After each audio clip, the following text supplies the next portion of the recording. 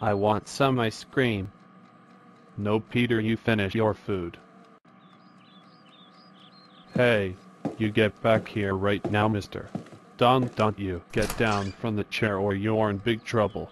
You, you put the ice cream back right now. I mean it.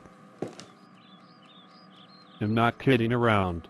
I'm not going to say it again. Ah, if you put the ice cream in your mouth or you're gonna be a big trouble young man. Are you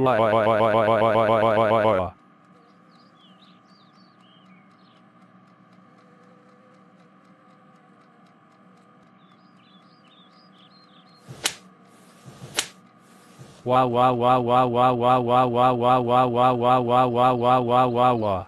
I hate you, I hate you, I want my mommy. Well, I'm the best you got.